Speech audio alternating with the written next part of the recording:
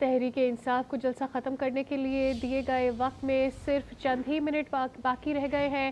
اسلام آباد کی انتظامیہ نے پی ٹی آئی کو شام چار بجے سے سات بجے تک کے جلسے کی اجازت دی ہوئی تھی۔ پی ٹی آئی کی مرکزی رہنما تاحال جلسہ گاہ نہیں پہنچ سکے ہیں۔ اسلام آباد انتظامیہ نے پی ٹی آئی کو جلسہ وقت پر ختم کرنے کا وارننگ بھی جاری کر دی ہے تاریخ چودھری سے مزید جان لیتے ہیں۔ بیور چیف اسلام آباد ہمارے ساتھ موجود ہیں۔ چند منٹ رہ گئے ہیں۔ اس سے پہلے آپ سے بات ہو رہی تھی۔ آپ نے خود ہی بتایا کہ وارن کر دیا گیا ہے کہ وقت ختم ہو گیا اور آئندہ پھر این او سی نہیں دی جائے گی۔ دیکھیں جی ایک تو ابھی ڈی سی اسلام آباد نے بھی ٹویٹ بھی کیا ہے اور انہوں نے اسلام آباد انتظامیہ نے یعنی جو آرگنائزر ہیں، جلسے کے جو پارٹی کے چیئرمین ہیں، پارٹی کے سیکرٹری جنرل ہیں، دیگر رہنماؤں سے رابطہ بھی کیا ہے۔ ان کو یاد کرایا ہے کہ سات بجے جلسہ ختم کرنا ہے، جو کہ جو اگریمنٹ تھا، اس کے مطابق جلسہ چار بجے شروع ہونا تھا اور سات بجے ختم ہونا ہے۔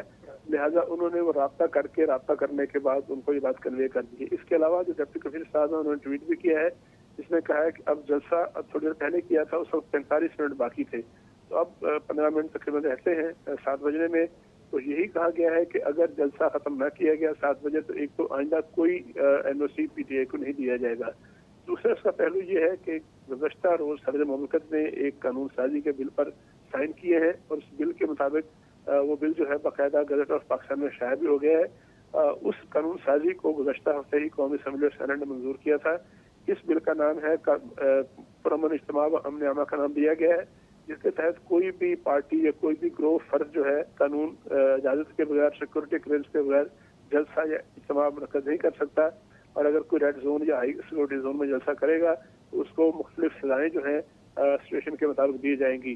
اس میں تین سال کی سزا بھی ہے، سات سال کی سزا بھی ہے اور دس سال کی سزا ہے، لیکن اس وقت جو سچویشن ہے وہ یہ ہے کہ پی ٹی آئی کے متعدد کارکن متعدد رہنما جو ہیں وہ خطاب بھی کر چکے ہیں۔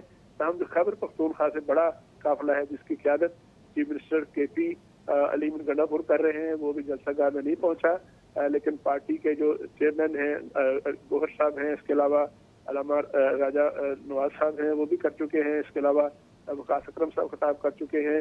دیگر اہم قائدین خطاب کر چکے ہیں۔ لیکن ذیلی انتظامیہ کی جانب سے یہ کہہ دیا گیا ہے کہ وہ ایگریمنٹ جس پر کچھ روز پہلے سائن ہوا تھا پی ٹی آئی کی انتظامیہ اور ذیلی انتظامیہ کی جانب سے بہت شکریہ طارق چودھری۔ آگے چل کر اس پر آپ سے مزید بھی جانیں گے۔ عام خبروں